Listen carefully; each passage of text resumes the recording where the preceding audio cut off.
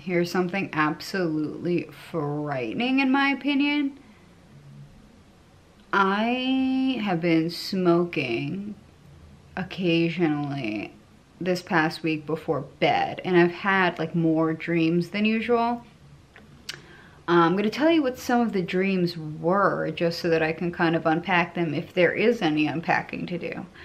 Um, but it leads me, worries me a little bit, and it leads me to think that to realize even more that I feel like I'm 10 years behind. Like I'm a late bloomer.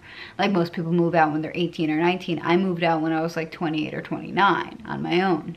You know, um, I, well, I've never been married. I have no kids.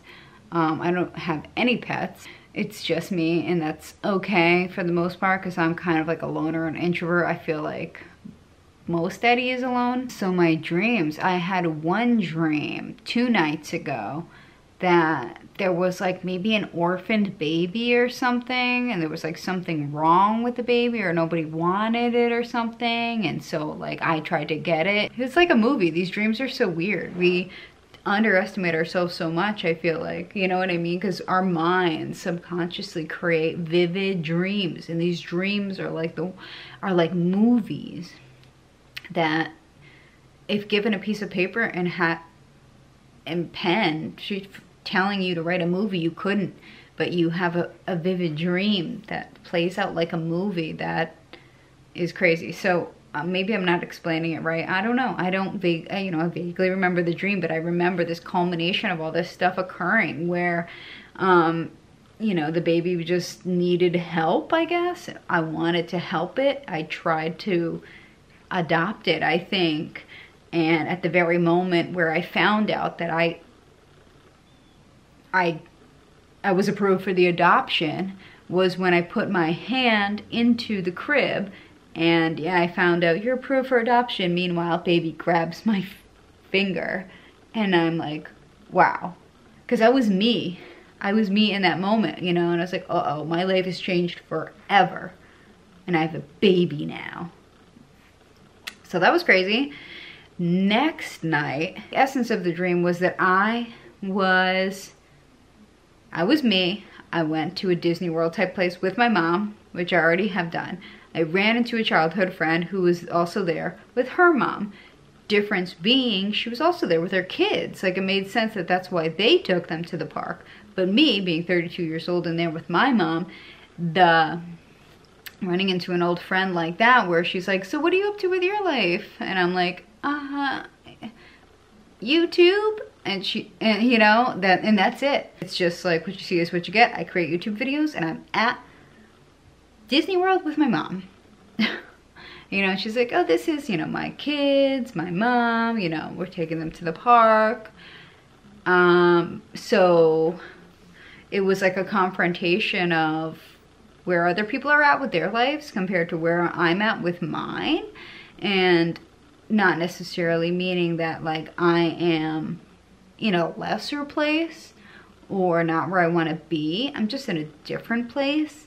And it probably mostly just speaks to my insecurity about that and which is the, the insecurity is of like what society views me or certain people as like potentially as less than because they're not a husband, wife,